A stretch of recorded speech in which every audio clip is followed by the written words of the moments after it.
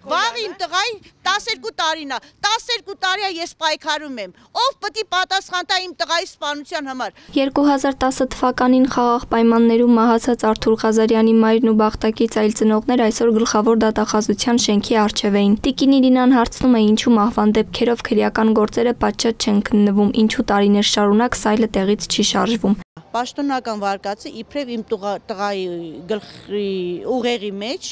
4-ը 4-ի վրա ուռուցք ա եղել։ Մայրը պատմում է, որ որդուն հադրութից արդեն մահացած են Երևան բերել։ 6 ժամ իմ տղան մահացած է եղել, Մուրացանի հոսպիտալում իմ տղան մահացած ընկած, ձերքերը, ոտքերը սենց սևացած, բերանը սոսինձով կպած, աչկերի բիբերը չորացած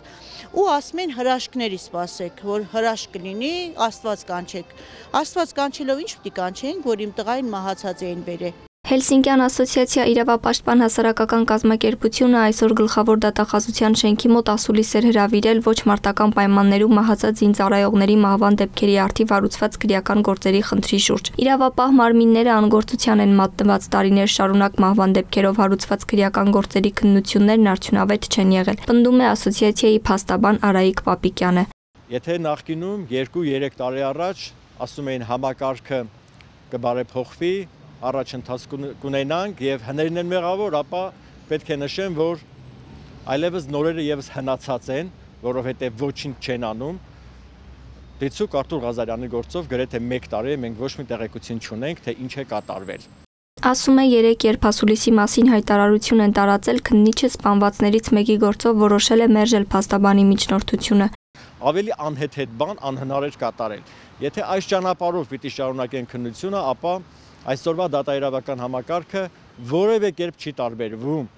նախկին տարիներին աշխատած դատաիրավական համակարգի անդամներից եւ ձևի եւ բովանդակության առումով։ Դատախազներն ու քննիչները, այդ թվում վերջերս բարձրագույն դատական խորհրդի անդամ ընտրված Հայկ Գրիգորյանը, որոնք ներգրավված են եղել գործերի քննության մեջ, կոծկել ու վերացրել են հանցագործության ապացույցները, այդ կերպ դրանց տալով կեղծ ուղություններ, հայտարարում է Արայիկ Պապիկյանը։ Ըստ նրա հիմա էլ դատախազները հետամուտ չեն լինում ողջելու, արդյոք քննիչները կատարել կամ կատարում են ցուցումները։ Ստացել եմ հանձնարարություն 2000 8 թվականից սկսած ոչ մարտական պայմաններում զոհված զինծառայողների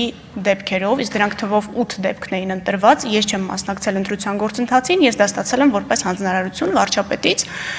ուսումնասիրել գործերը եւ վարչապետին տալ օբյեկտիվ, իրավաբանորեն օբյեկտիվ կարծիք։ Ի վերջո, այս մարդիկ, որոնք բողոքում են տարիներ շարունակ նախաքննությունից, ասում են, որ անարդար է եղել։ Ի վերջո, իրավաբանական հիմքեր կան ասացի մեջ, թե կա այդ արդարության պակասի էմոցիոնալ ընկալումը։ Վարչապետի նախկին օգնական սեպտեմբերի 15-ին գլխավոր դատախազի պաշտոնը ստանձնած Աննա Վարդապետյանը ազգային ժողովի ամբիոնից ասում էր. ուսումնասիրած ութ քրեական գործերը վերածել են իրավական գնահատականների եւ վերադարձրել ակտիվ նախաքննության փուլ։ Գործերից 5-ի լսումները տեղի են ունեցել։ 3-ի լսումները Վարդապետյանը խոստացել էր իրականացնել դատախազություն տեղափոխվելուց հետո, նաեւ զբաղվել ոչ մարտական պայմաններում մահվան դեպքերով հարուցված մյուս քրեական գործերով այս գործերի նման լավ որևէ մեկը բացի ծնողներից ու փաստաբաններից չի տիրապետում այս գործին այդքան ինչքան Տիկին Վարդապետյանը եւ Տիկին Վարդապետյանը այն գործերի կազմելու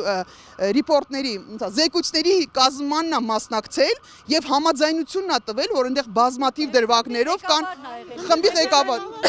կան բառացիորեն հանցագործություններ ոչ թե զանցանքներ ոչ թե թերացումներ ոչ թե բաց թողումներ այլ բառացիորեն հանցագործություններ Իրավապաշտպանները լիահույս էին, քանի որ Վարդապետյանը քաջածանոթ է գործերին, քննության տեմպերը կարագանան եւ որ գլխավորն է արդար քննություն կիրականացվի, իսկ մեղավորները կպատժվեն։ 5 ամիս է անցել ինչ Աննա Վարդապետյանը ընտրվել է գլխավոր դատախազ, բայց ինչպես Սևազգեստ մայրերն ու իրավապաշտպաններն են պնդում, նա անգործության է մատնված։ Ինչն է խանգարում Աննա Վարդապետյանին աշխատել այդ ուղությամբ։ Նինա Կարապետյանցն ասում է ցանկություն չունի որպեսի հանրությունը պատկերացնի ինչի մասին է խոսքը,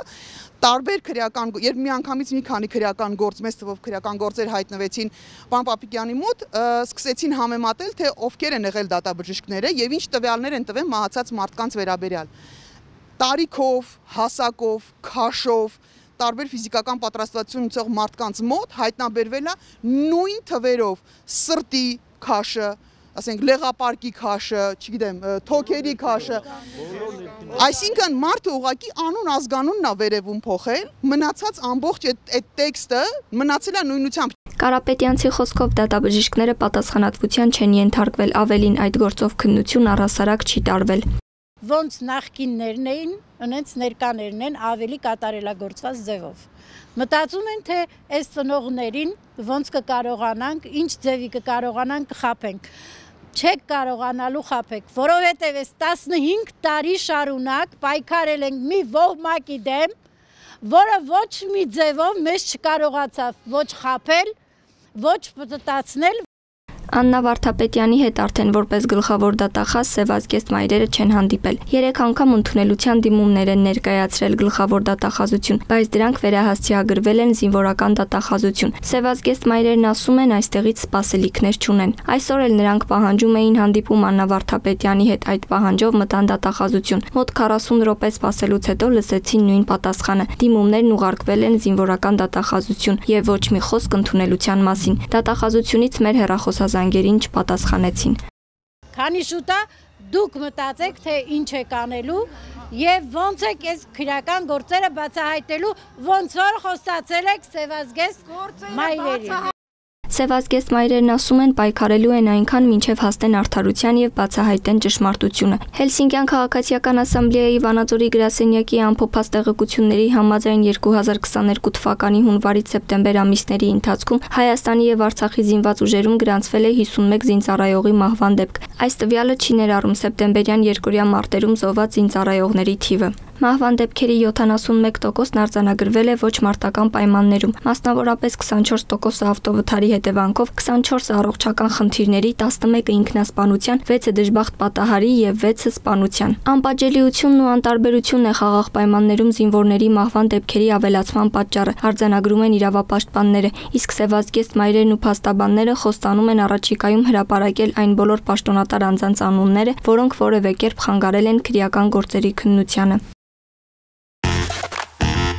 Յուրաքանչյուր աշխատող ունի ամենամյա արձակուրդի իրավունք հանգստանալու եւ աշխատունակությունը վերականգնելու համար։ Այդ ընթացքում պահպանվում է նրա աշխատատեղը եւ վճարվում է միջին աշխատավարձը։ Յուրաքանչյուր աշխատանքային տարվա համար ամենամյա արձակուրդը տրամադրվում է տվյալ աշխատանքային տարում։ Արձակուրդը կողմերի համաձայնությամբ կարող է տրամադրվել նաեւ մասերով։ Ամենամյա արձակուրդի համար գործատուն աշխատողին վճարում է միջին աշխատավարձ, աշխատողի միջին օրական աշխատավարձը բազմապատկած տրամադրվող արձակուրդի օրերի թվով։ Ընդ որում վճարումը կատարվում է արձակուրդը սկսելուց 3 օր առաջ։ Եթե դա հնարավոր չէ գործատուից անկախ պատճառներով, ապա արձակուրդը սկսելուց հետո 3 աշխատանքային օրվա ընթացքում։